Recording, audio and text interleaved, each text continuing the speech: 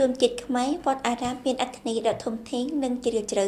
ទីនេះជាកន្លែងដែលជនរួមជាតិខ្មែរគោរពបូជាបំផុតមិនមែនដោយសារតែជាទស្សនវិជ្ជារបស់ភូមិស្រាប់ជាមជ្ឈមណ្ឌលប្រជុំវប្បធម៌ជំនឿសាសនារបស់សហគមន៍តែប៉ុណ្ណោះទេ នៅទាំងជាទីពំនឹងនៃស្មារតីផងទៀតរួមចំណែកអប់រំកំណត់ទិសដៅចរិយាសម្បត្តិរបស់មនុស្សម្នាក់ម្នាក់ដើម្បីជីវិតល្អបវរសាសនាធ្វើដល់តម្លៃសច្ចធម៌ពិតប្រាកដ។ ជាពិសេសចំពោះសំណង់របស់វត្តគឺជាបណ្ដាវត្តកម្មស្ថាបត្យកម្មបពលក្ខណៈសិល្បៈវិសេសវិសាលពោពេញដោយភាពច្នៃប្រឌិត ហើយខាងក្រោយបណ្ដាផ្ទាំងគំនូរស្ថាបត្យកម្មនោះតែងបង្កប់នៅអត្ថន័យដែលចាស់បុរាណចង់រំលឹកដល់និងសង្ឃឹមចំនួនបច្ចជន ជួយថែរក្សានិងអភិវឌ្ឍ ក្នុងនោះសំណង់ព្រះវិហារទីដែលចាត់ទុកថាជាសមាធិដ៏សំខាន់បំផុត ក្នុងបដាសំណង់របស់វត្ត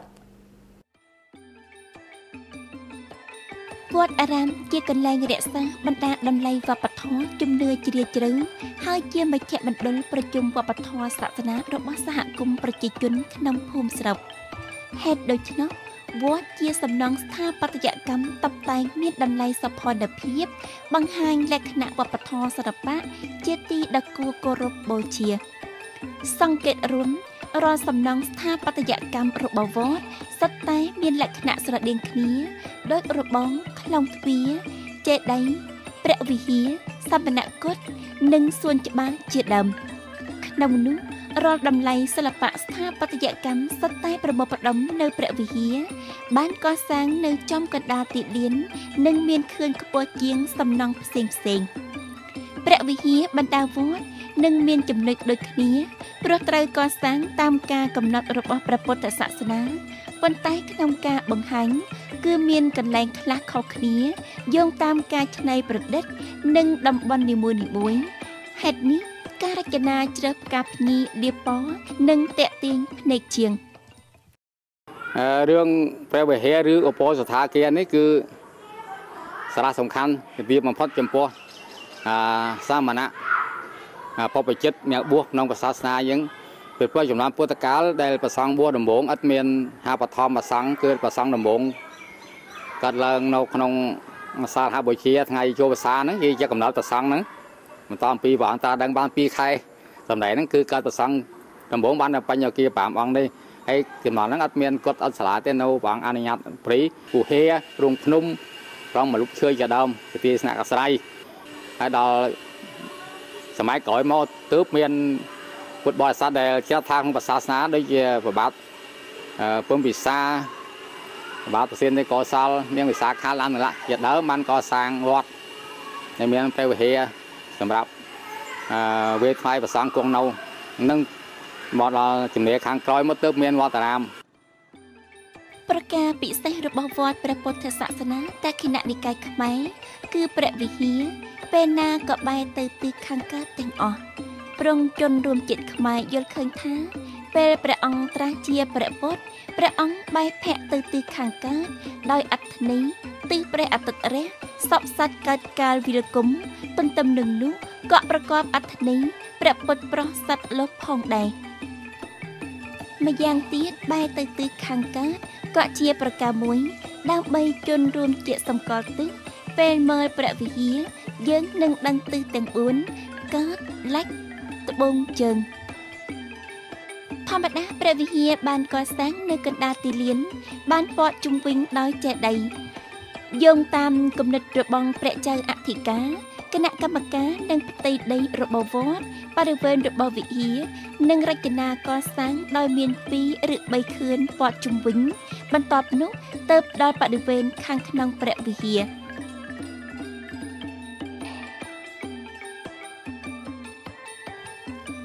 នទី1ឈានឡើងព្រះវិហារបានកសាងដោយក្របងព័ទ្ធជុំវិញ ក្នុងនោះនឹងមានខ្លំទ្វារពី2ដល់4ដើម្បីដើរឡើងវិហារសំស្របនឹង4ទិសកើតលិចត្បូងជើង ប្រការពិសេសនៅខ្លំទ្វារនីមួយៗតាមជណ្ដាដើរឡើងសុទ្ធតែ មានចម្លាក់រូបសត្វនាគនៅទាំងសង្ខាងដើម្បីបង្ហាញអនុភាពរបស់សត្វមានមហិទ្ធិឫទ្ធិម្យ៉ាងទៀត ដើម្បីរក្សាការពារព្រះវិហារផង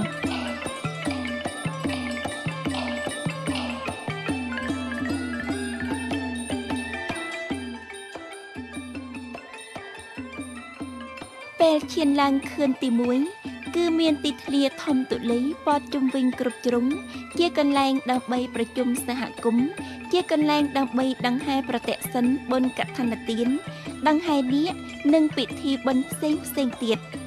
ក្រៅពីនេះដើម្បីធ្វើឲ្យលេចធ្លោជាង លើរបងនិងតាប់តែងបន្ថែមនិមិត្តរូបសត្វឬក្បាលព្រំ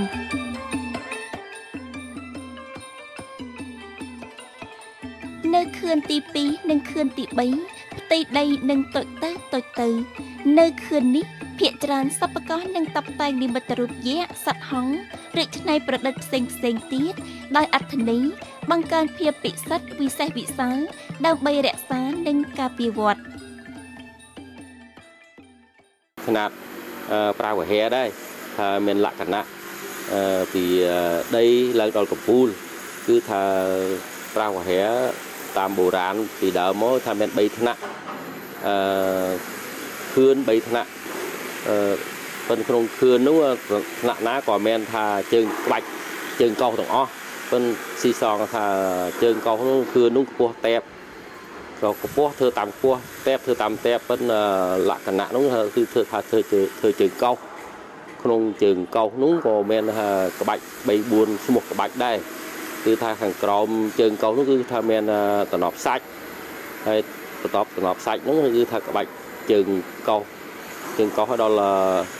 តបកឈូកហើយតម្រួតហើយក្បាច់ពេជ្រតម្រួតហើយដល់ពេជ្រទៀតដល់ដងក្តារ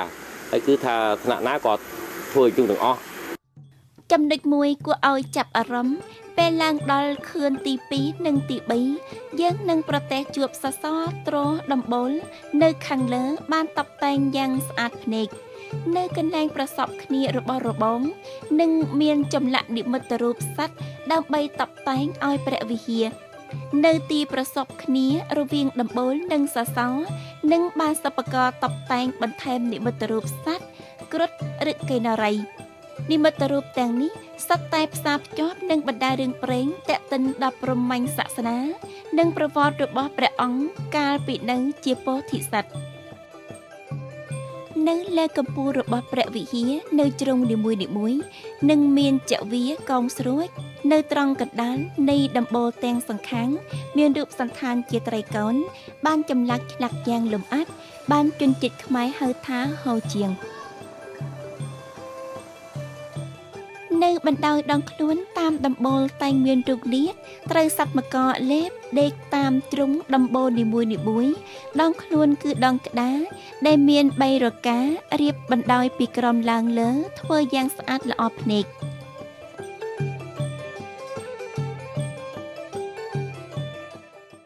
ហើយលើកពូលដបូលនោះគឺថាដបូលប្រាវហែមាន3ថ្នាក់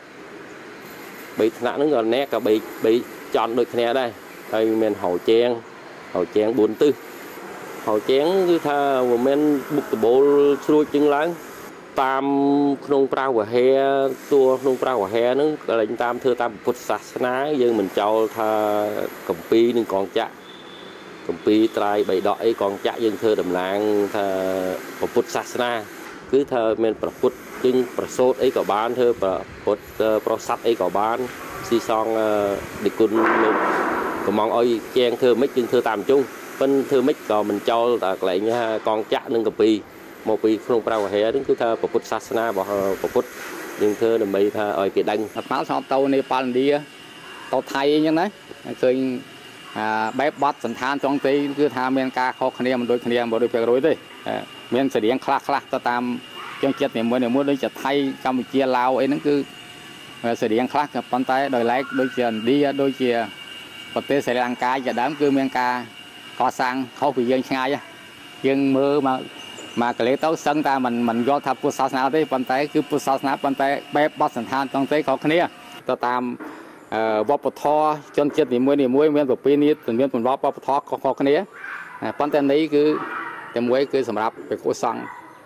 ធ្វើសង្ឃកម្មផ្សេងផ្សេងនៅក្នុងកិច្ចឧបសម្បទាកម្មជាដើម ធម្មតានៅព្រះវិហារនីមួយនីមួយនឹងមានទ្វារចំនួន4ដើម្បីងាយស្រួលជិញចូលនៅវត្តខ្លះមានលក្ខណៈនឹងធ្វើទ្វារដោយឈើនៅលើនោះនឹងចម្លាក់ក្បូរក្បាច់ផ្កាភ្ញីរូបសំណាកយ៉ាងល្អិតល្អន់ក្រៅពីនេះនៅជញ្ជាំងមុខនិងក្រោយ ដែលនៅខាងក្រៅនឹងបានគូរឬចម្លាក់រូបពុទ្ធប្រវត្តិ ម្យ៉ាងទៀតគឺដើម្បីរំលឹកនឹកដល់រឿងរ៉ាវរបស់ព្រះពុទ្ធម្យ៉ាងទៀតដើម្បីបង្កភាពពិសិដ្ឋពេលយើងមើលជល់ផ្ទាំងគំនូខាងក្នុងព្រះវិហារមានទីលានទុលីនិងពិសិដ្ឋបំផុត លើពិដាននឹងមានរូបផ្កាភ្ញីឬអប្សរា នៅតាមជញ្ជាំងនិងគូរូបភាពពុទ្ធប្រវត្តិបរនីពីរឿងរ៉ាវជីវិតរបស់ព្រះសម្មាសម្ពុទ្ធតាំងពីព្រះអង្គនៅជាពោធិសត្វត្រាស់ដឹង ប្រសាទរហូតដល់យាងចូលបរិនិព្វានចំណែករតនៈបល្ល័ង្កនិងបែងចែកជាច្រើនថ្នាក់ព្រះជីនឹងគង់នៅកណ្ដាលផ្កាឈូក បានតាប់តែងយ៉ាងម៉ត់ចត់ល្អិតល្អន់បល្ល័ង្កធំគឺថាមានវត្តខ្លះធ្វើ3ថ្នាក់និងវត្តខ្លះធ្វើ2ថ្នាក់ 4ថ្នាក់ដូចវត្តជាទុំនឹងគឺថាប្រវែធំហើយព្រះអង្គបរមាកគេដែលគេធ្វើបុណ្យពុទ្ធាពិស័យគេប្រកើនក៏ច្រើនដូច្នេះហើយលោកធ្វើដល់ចិញ្ចាំងហើយបលាំងក៏ច្រើនថ្នាក់ទៀតហើយធ្វើច្រើនថ្នាក់នោះគេហៅមួយថ្នាក់មួយថ្នាក់នោះហៅតំណប់សាច់ស្មើនោះហៅតំណប់សាច់ហើយសាងខាងអញ្ចឹងគឺថាបិទក្បាច់ដកច័ន្ទហើយតបកឈូកដល់តួបលាំងប្រាជីនោះគឺថាបលាំងពេជ្រ បាទឡើងពេជ្រធ្វើលក្ខណៈដូចមានជើងកោសតំណប់សាច់មានក្បាច់ជីភ្លើងអីគ្រប់សពឲ្យឃើញលោះអញ្ចឹងបាទ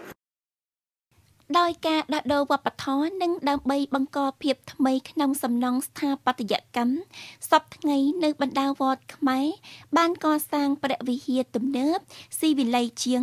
កសាងរបៀបមានជាន់ប៉ុន្តែនៅតែបង្ហាញបានលក្ខណៈស្នាមតម្រាស្ថាបត្យកម្មឆ្នាំរបស់វប្បធម៌ប្រពៃណីជនជាតិខ្មែរបើតាមអាត្មាយល់ក៏មិនអាត្មាក៏មិន សូវ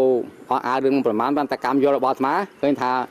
ពីដើមតាំងអាត្មាពីតូចក្រួយឆ្មាមកគឺភាគច្រើនពហិខ្មែរយើងគឺសង់ទៅតាមបែបបទបុរាណគឺអត់មានកំពូលទេដែលហៅថាត្រៃសូកំពូលដោយវិជាដីឡើងទៅលើខ្ពស់ហ្នឹងអត់សូវមានទេតិចមានចំនួនតិចប៉ុន្តែសម័យបច្ចុប្បន្នឥឡូវនេះគឺថាដោយសារវិវត្តទៅតាមសង្គមស្រុកទេសរបស់យើងដែលមានការវិវត្តទៅតាមសម័យកាលហ្នឹងជីវភាព ពុទ្ធបរិស័ទយើងមានការកើនឡើងមួយកម្រិតផងហើយការឆ្នៃតែឆ្នៃម៉ូដជាដើមណាខាងការឆ្នៃម៉ូដគឺម៉ូដនេះគឺជាទម្រង់បែបបត់ទៅតាមសម័យកាលនិយមនីមួយៗទៅតាមស្រុកទេសដូចជាសម័យបច្ចុប្បន្នគឺថាអាត្មាឃើញភាគច្រើនគឺកសាងព្រះតាមបែបបត់ថ្មីភាគច្រើនដែលមានកម្ពូលហើយមានខឿនខ្ពស់ដូចពីដើមពុទ្ធបរិស័ទចំនួនវត្តមួយមានចំនួនតិច ហេតុធនធានថវិកាក៏មានមានកម្រិតហេតុហ្នឹងក៏សាងមិនសូវបានស្គមស្កៃដោយបច្ចុប្បន្ននេះទេដោយសារសង្គមពីដើមមានការខុសពីសម័យបច្ចុប្បន្ននេះឆ្ងាយណាស់ហេតុហ្នឹងការរចនាអឺក្បូរក្បាច់រចនាទៅតាមកាលកាលៈទេសៈភាពច្នៃប្រឌិតមិនឈប់ឈរក្នុងសិល្បៈតបតែង ជាលក្ខណៈមួយ ដើម្បីសម្គាល់ស្ថាបត្យកម្មវត្តខ្មែរ បណ្ដាផ្កាភ្ញីរូបរាង នៅលើព្រះវិហារបង្កបានភាពពិសេសឆ្លងតាមរូបរាងដាក់ស្គឹមស្កៃពិសិដ្ឋខ្ពង់ខ្ពស់សំណង់ព្រះវិហារបង្កបានចំណុចរួមមួយរបស់ភាពអស្ចារ្យពោពេញតម្លៃសិល្បៈបង្កលក្ខណៈពិសេសប្រការនេះបានរួមចំណែកបង្កើនភ្ញៀវទេសចរមកគយគន់គោរពបូជានិងស្វែងយល់